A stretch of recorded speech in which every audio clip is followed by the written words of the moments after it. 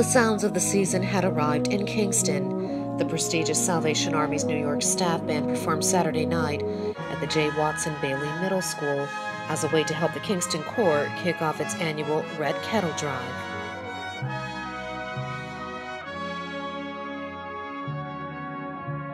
Our goal is about $65,000. People are always in need, and um, you know we serve a, a, community in our area, you know where the Corps is that is in need, and so the need is about the same. You know we've noticed this year we've had the same number of families and people that are in need. And the Kingston Corps couldn't think of a better way to begin its kettle drive.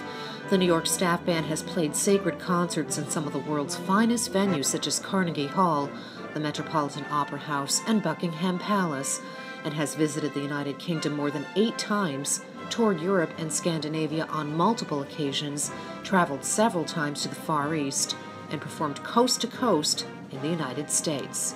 From the early days of the Salvation Army, music has been important. The founder, William Booth, was a musician.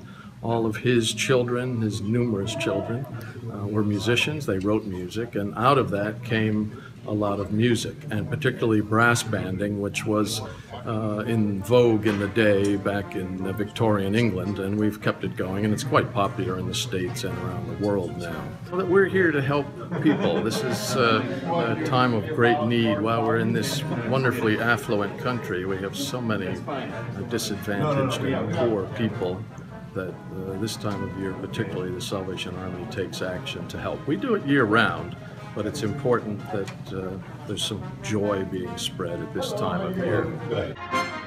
For HVNN.com, I'm Paula Mitchell reporting.